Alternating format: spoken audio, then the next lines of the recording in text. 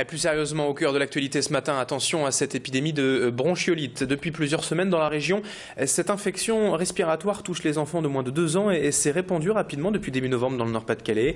Les premiers symptômes apparaissent comme un simple rhume avec un encombrement nasal, mais qui descend progressivement dans les bronches et les poumons, et l'enfant est alors gêné pour respirer.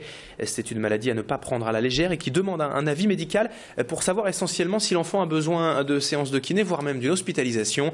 La première étape, en tout cas, est de soulager bien désencombrer le nez et humidifier l'air ambiant. Explication euh, complémentaire avec le docteur Michel Bozek de SOS Médecins Roubaix-Tourcoing au micro d'Adélaïde Bollard. La bronchiolite, ben, ça va se porter plus sur les poumons, donc l'enfant ben, va siffler. Donc c'est un sifflement quand on souffle, donc ça va siffler à ce moment-là et il va être encombré.